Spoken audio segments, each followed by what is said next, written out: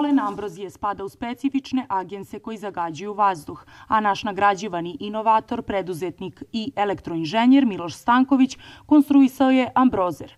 Uređaj se može podesiti da uništava grupno ili selektivno korov, a ne uništava korisne biljke niti mikroorganizme. Pomoću određene frekvencije i struje svaki korov u poljoprivredi ima određenu frekvenciju i određena frekvencija se podesi na uređaju, kada uređaj prođe i tretira određenu površinu, da li ambroz ili određen korov, taj korov vene u korenu i više nikada ne raste. Trenutno je u vazduhu povišena koncentracija polena trave, a ambrozija tek počinje da cveta.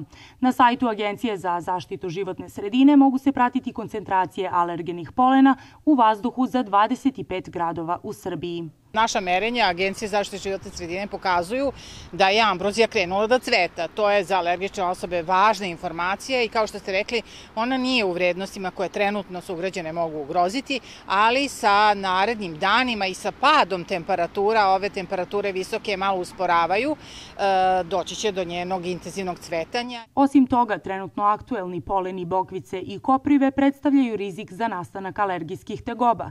Prenela je u svom izveštaju o praćenju stanja i prognoza aeropolena Gradska uprava za zaštitu životne sredine Novi Sad.